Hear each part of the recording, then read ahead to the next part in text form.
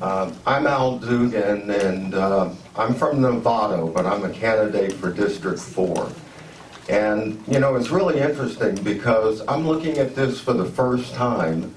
Uh, I've seen different articles on it. I didn't get to see the story poles, but looking at this right now and seeing what I just saw and listening to everything, uh, for 36 years I traveled all over the world and I was I worked in taking care of cargo insurance for tech companies. And I stayed in business parks all over the world. And tell you quite frankly, this looks like a hotel for a business park in the middle of the city. And, you know, as a first-time person coming to take a look at it, it just seems so out of character for the site and where it is in this town. So I just wanted to share that with you as somebody from the outside just coming in and looking at it. Thank you.